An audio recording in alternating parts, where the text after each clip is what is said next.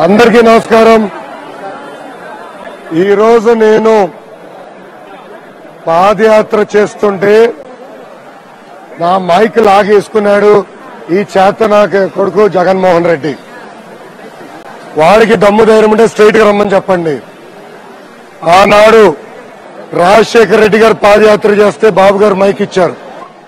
జగన్మోహన్ రెడ్డి పాదయాత్ర చేస్తే మైక్ ఇచ్చారు. కానీ ఈ రోజు నేను పాదయాత్ర చేస్తే నా మైక్ లాక్కుంటారు. నేను పోలీస్ సోదరులు చెప్తున్నా నా పేరు Lokesh I'm not terrorist brother నేను నక్సలైట్ కాదు నేను రేపిస్ట్ కాదు. ఎందుకే నీకు అంత కంగారు?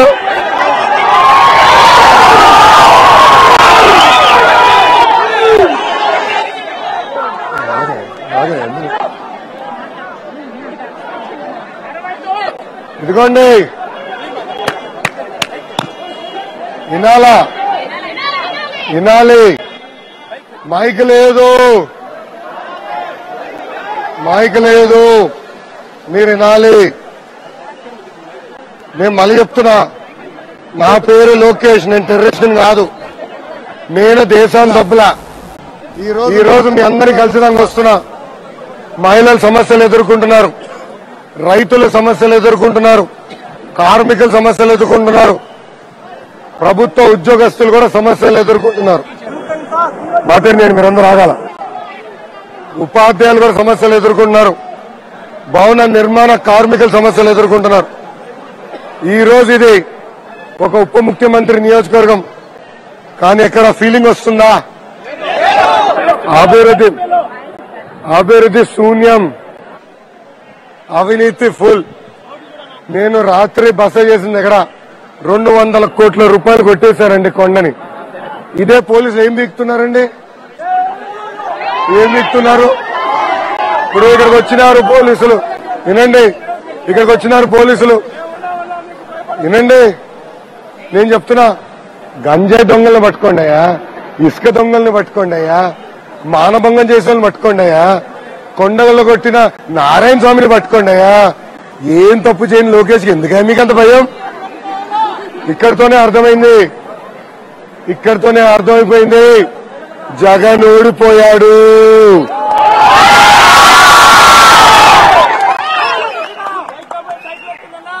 జగన్కి లోకేష్ చూస్తే ఉచ్చబడుతుంది. దమ్ము ధైర్యం ఉంటే మైక్ ఇచ్చి పంపించాయా? ఓయ్ ఓయ్ ప్యాలెస్ ఓయ్ ప్యాలెస్ పిల్లి. భయం ఏంటో నీకు చూపిస్తా బ్రదర్ నువ్వు నువ్వు మైక్ తీసినంత మాత్రాన నువ్వు మైక్ తీసినంత మాత్రాన ఈ లోకేష్ ఆగడు. తాత గొంతు వచ్చింది రే నాకు. దీంట్లో సౌండ్ ఉన్నంత వరకు నేను పోరాడతా. నీలాంటి అవినీతి పరుల్ని వెంటాడతా. నేను వదిలిపెట్టి ప్రసక్తి ఉండదు. ఇప్పుడు నాకు అర్థమవుదండి? వెయ్యి మంది పోలీసులా? ముగ్గురు డిఎస్పీలు. ముగ్గురు డిఎస్పీలు అండి దాంట్లో ఒక DSP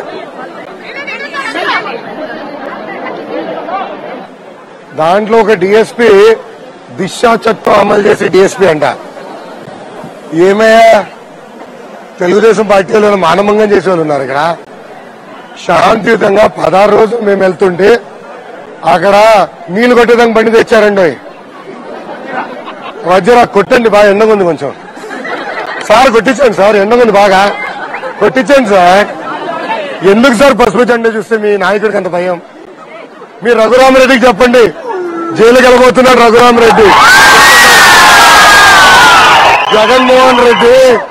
Jaganmohan Reddy IAS officer జైలుకి తీసుకెళ్ళాడు ఈ టర్మ్లో ఐపీఎస్ ఆఫీసర్ కూడా జైలుకి తీసుకెళ్తాడు. ఎవరు నేను చెప్తున్నా ఎవరైతే చట్టాన్ని ఉల్లంఘిస్తున్నారో ఎవరైతే దొంగ కేసులు పెడుతున్నారో సిట్టింగ్ జడ్జ్తో జ్యుడిషియల్ ఎంక్వైరీ చేసి వాళ్ళ తోలు నేను తీస్తా చూడండి.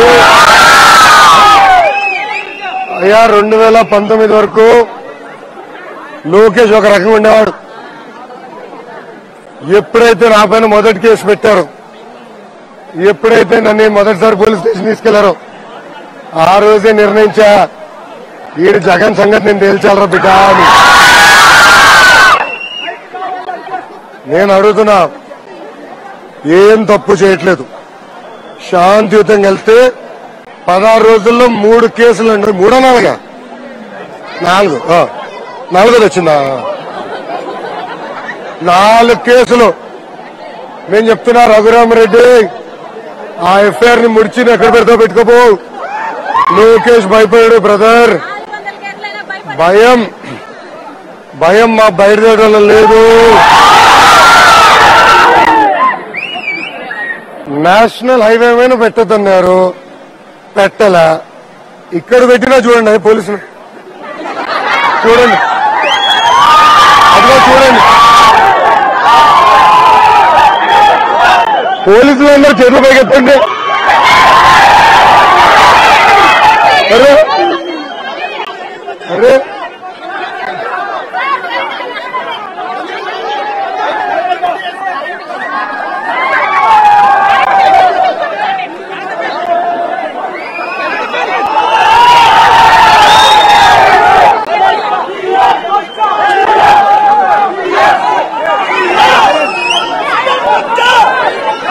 వినండి వినండి వినండి ఎనిమిది వినండి. ఎనిమిది మంది ఎనిమిది మంది డిఎస్పీలు ఇంతమంది పోలీసులు. పర్వాలేదా భోజనం కూడా మేమే పెడతాం కంగారు లేదు. మీకు భోజనం కూడా మేము పెడతాం. మాకు భయం లేదు. ఈనాడు తప్పు చేయలేదు. పోరాడడానికి నేను సిద్ధంగా ఉన్నా. మీరు సిద్ధంగా ఉన్నారా? సిద్ధంగా ఉన్నారా? అయ్యా నేను అడుగుతున్నా. రైతులకి గిట్టుబడతారు ఎవరు? కొంచెం ఆగే ఆగ ఆగ. రైతులకి గిట్టుబడతారు ఎవరు?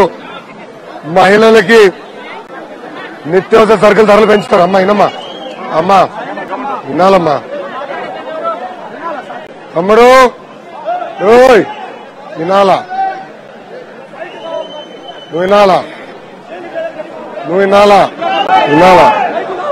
వినాలా? ఇది ధర్మ యుద్ధం ఈరోజు రైతులకి గిట్టుబాటు ధర లేదని నేను పోరాడుతున్నా. రైతులు మోటార్లకి మీటర్లు బిగిస్తున్నారు కనుక నేను పోరాడుతున్నా. మా తెలుగింటి ఆడపడుచులకి ధరలు పెంచాడు. ఎక్కడ నూనె ధర పెట్రోల్ డీజిల్ గ్యాస్ చింతపండు అన్ని పెంచినాడు. దానికోసం ఈ పోరాటం దానికోసం ఈ పోరాటం. చూడండి ఆరు వేల రూపాయలు కరెంటు బిల్ల ఇంటికి. ఆరు వేల రూపాయలు. ఆరు వేల రూపాయలు ఒక నెలకి కరెంటు బిల్లు. ఇదే కరెంటు బిల్లు చూపించి మళ్ళీ తెల్ల కార్డు కట్ చేస్తాడు. ఆ తెల్ల కార్డులో ఇనమ్మా ఇనమ్మా ఇనాల మళ్ళీ పెన్షన్ కట్ చేస్తాడు. అమ్మ ఒడి కట్ చేస్తాడు. అన్ని సంక్షేమ కార్యక్రమాలు చేస్తాడు. ఇట్లా ఆరు లక్షల మందికి తీయేస్తాడండి అందుకే నా పోరాటం. అందుకే ఈ పోరాటం. నేను నా గొంతు విప్పిన నుంచి వణుకుపడింది నేను చెప్పిన జగన్ రెడ్డికి రే నువ్వు సహకరిస్తే ఇది పాదయాత్ర. లేదంటే దండయాత్ర. రే నువ్వు నిజంగానే ఎంత పిరికోడ్రా నువ్వు? ఎంత పిరికోడ్రా నువ్వు జగన్ రెడ్డి? నీలాంటి పెరికి ముఖ్యమంత్రి భారతదేశంలో ఎవడు ఉండడు ఎవడు ఇక్కడ ఎంతో మంది నాయకులు పాదయాత్ర చేశారు. నిన్న కాక మొన్న రాహుల్ గాంధీ ఆంధ్ర రాష్ట్రంలో పాదయాత్ర చేస్తే మైక్ ఇచ్చారు ఇదే పోలీసులు. ఇదే పోలీసులు మైక్ కానీ లోకేష్ నడిస్తే నో మైక్ అంట.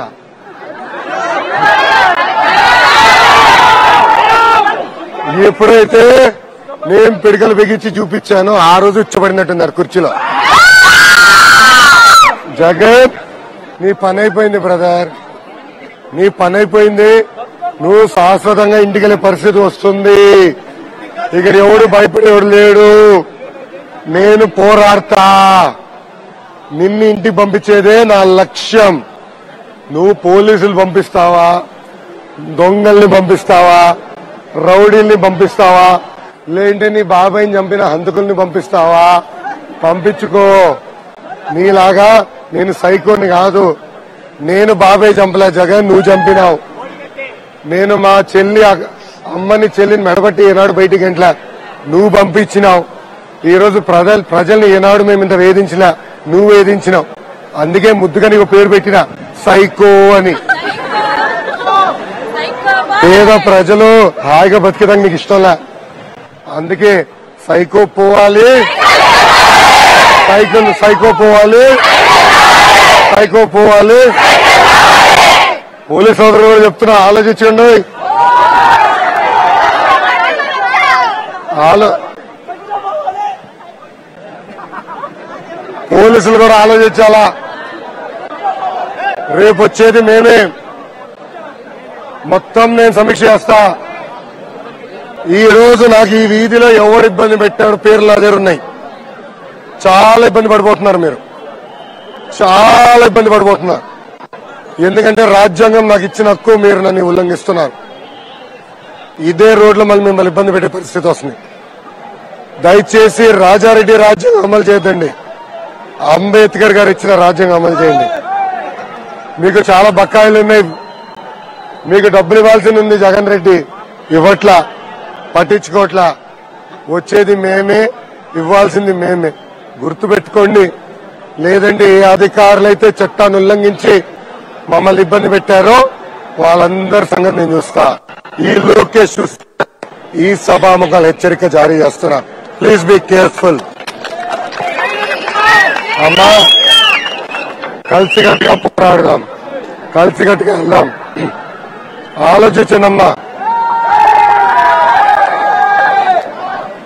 మైక్ తీయేశాడు తల్లి. మైక్ తీయేశాడు మైక్ తీయేశాడు తల్లి ఎంత అన్యాయం చూడండి. ఆంధ్ర ప్రజలు ఆలోచించండి. ఒక యువకుడిగా మీ సమస్యలపై నేను పోరాడితే నా మైక్ తీయేశాడు జగన్ రెడ్డి. కానీ నేను ఆగను. నేను పోరాడతా. అవసరం రెండో లాగుతా నేను పోరాడతాను. నేను వదిలిపెట్టను ఈ జగన్ రెడ్డిని ఈ ప్యాలెస్ పిల్లని శాశ్వతంగా ఇంటి పంపించే బాధ్యత నాది. ఇదే జియో వన్. నెల్లూరులో ఆదాల ప్రభాకర్ రెడ్డి టౌన్లో మీటింగ్ పెట్టి మాట్లాడాడు మైక్లో ఏం పీకారి పోలీసులు? ఏం పీకారి పోలీసులు? తాడిపత్ర ఎమ్మెల్యే మైక్ పెట్టుకుని మాట్లాడాడు. ఏం పీకారు వీళ్ళు? ఏమైంది వాళ్ళకి జియో వన్? వాళ్ళకి లేని జియో నాపై అమలు చేస్తారా? ప్రజలారా అందరు ఆలోచించండి. ఇది ఎంతో న్యాయమో ఆలోచించండి. భారతదేశ చరిత్రలో ఏనాడు జరగలేదు. భారతదేశ చరిత్రలో ఏనాడు జరగల. మొదటిసారి జరుగుతుంది. అయినా నేను పోరాడతా. నేను వదిలిపెట్టను. ఈ సౌండ్ బాక్స్ సౌండ్ ఉన్నంత వరకు జగన్ రెడ్డికి ఉచ్చపడే విధంగా నేను పోరాడతానని. నాకు అవకాశం ఇచ్చిన మీ అందరికీ పేరు పేరున నా హృదయపూర్వక నమస్కారాలు. జై హింద్ జై తెలుగుదేశం. పోనీరా ఇప్పుడు ఆగమ్మ ఆగమ్మ ఆగమ్మ. కొంచెం అర్థం చేసుకోవాలి ఆగమ్మ. ఆ? ఇది మా తాత ఇచ్చిన మాట ఎక్కడ పోదు. అందరూ పిడికలు బిగించి చేతులు పైకెత్తండి.